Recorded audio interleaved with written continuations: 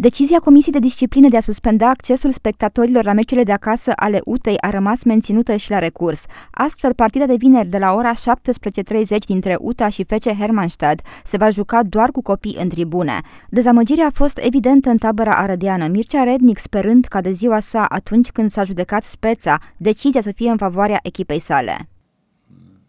Nu există înțelegere. Suntem așa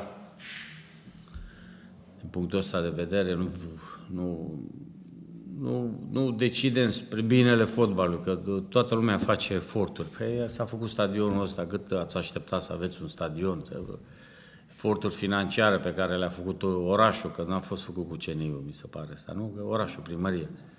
Și când ai stadion, ai posibilitatea să, să, să joci cu suporteri. Două echipe de tradiție, două echipe cu, cu suporteri, și ați văzut uh, noi meciurile de acasă, noi parcă un singur meci am pierdut din 13 uh, partide jucate. Foarte important pentru noi. Sigur că la ultimul meci a fost o atmosferă creată de copii.